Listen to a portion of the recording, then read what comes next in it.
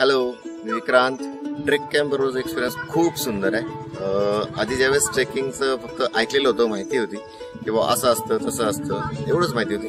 पण ज्यावेळेस trek camp बरोबर मी जॉईन झालो त्यावेळेस कळलं की अरे किती सुंदर आहे किती सोपं आहे. ट्रेक कॅम्प बरोबर टोटल बारा ट्रेक्स केलेले आहेत. त्याच्यामधले जे छान छान जे होते ते भैरवगड एक होता एक झोलचंड होता आणि आत्ता एक जो जस्ट केला तो एक रांजना तर अंजना इतका सुंदर होता की मी एकदा सोडून तो सरांबरोबर दोनदा केला. फर्स्ट टाइम असा कन्सेप्ट आहे की कोजागिरी पौर्णिमा आपल्या एका गडावर सेलिब्रेट करायची.